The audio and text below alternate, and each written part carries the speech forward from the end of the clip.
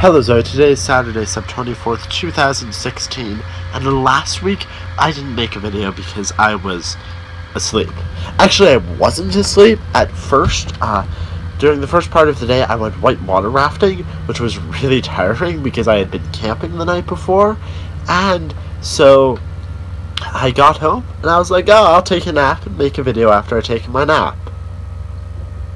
I take a nap and wake up my alarm goes off the next day.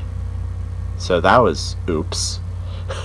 Uh, actually, I had a similar thing happen to me today, including with the whole wanting to take a nap, but I had the knowledge now that if I took a nap, I would not be making a video, and since I already have too many punishments, here's me being tired and telling you about uh, what happened to me today. Today, I went on an adventure.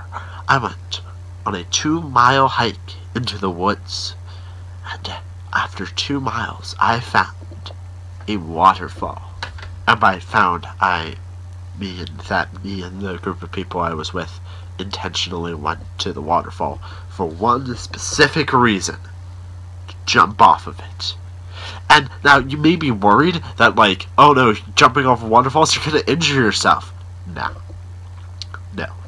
This waterfall was like a whole 20 feet, maybe? At most, probably not even. Um, probably more like 12 feet uh, from the surface of the water to the top of the waterfall. And the top of the waterfall wasn't flat, it went curved like that. So the actual drop was closer to 8 feet. And the water at the bottom was really deep, so it was really fine. I went down the waterfall six times. Oh my god, it was so much fun. And then there was this rope that you climbed back up to the top of the waterfall. It was awesome. It's called Turtleback Falls. Z, next time you have a bunch of time, so basically, uh, maybe after I graduate from college, we should go there.